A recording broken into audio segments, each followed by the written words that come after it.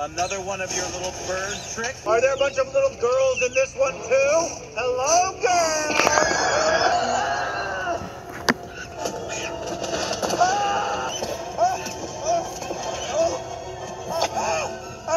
Look at that. See the